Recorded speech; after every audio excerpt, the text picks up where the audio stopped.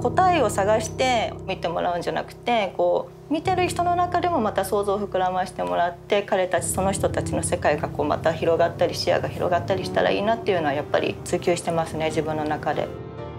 鑑賞者に新たな世界を提示する。タイトルのない絵画。ブレイク前夜世界に認められるその日のために次世代の芸術家たち。本郷美術骨董館の提供でお送りします。ペインター吉田昭恵。美術大学に通っていた母親の影響で自然とアートの道へ。そんな彼女が一貫して表現するのは幼い頃に魅了された小さな宝物。小さい頃からまあ石ころとか貝殻をずっと集めて家でずっと並べてたんですね。そういう石のこう深い色とか積層でこうだんだんだんってなってるラインとかがすごく面白くてその周りを取り巻いてる軸時間と空間をこの二次元の平面の中にあの表現できたらなってやってます。石や貝殻から感じたあまりにも長く魅力的な時間。形ないものを描く彼女の信念は破壊と再生。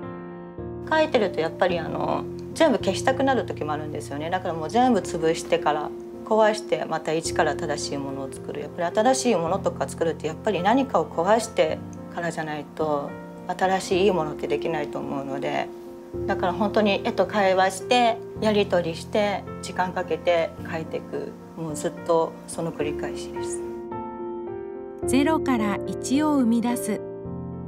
アーティストの命題ともいえるこの挑戦に彼女が出した答え。それがアンタイトル。文字とか数字とかって嫌いなんですよね私タイトルに「青い作品で海」「C」とかって入れちゃうとこれ海なんだってもうそれで決まっちゃう、まあ、言葉にするとか文字にするとかって大事だとは思うけれどもそれを鑑賞者に分かってほしいとはあまり思わない。文字が先にあってそれに引っ張られちゃうのはちょっと違うのかなって思うのであえてだからアンタイトル見てる人たちが考えられるように。アートに答えはない。そんな当たり前の考えを当たり前に体現し続けるペインター吉田昭恵の未来とは？なんか世の中おかしいなって思うのはやっぱりみんな同じこと考えて同じことやってそれが普通になってっていうのは面白くない世界だなって思うんでその中でみんな生きてるっていうのをアーティストとして壊したいっていうのはありますね。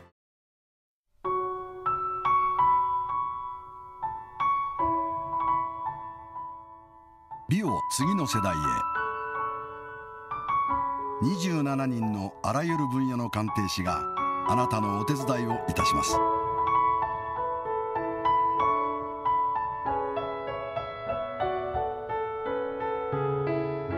東大赤門前